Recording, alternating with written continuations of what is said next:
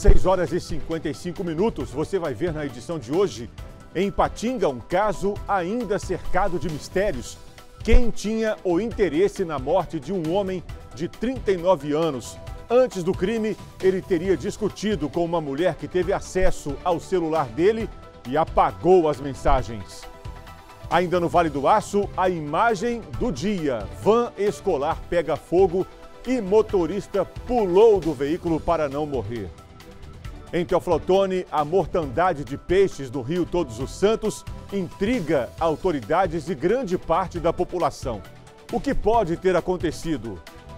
Violência durante a madrugada em distrito de Governador Valadares. Dois rapazes foram assassinados a tiros. Agora no MG Record pela TV aberta e no Facebook da TV Leste, facebook.com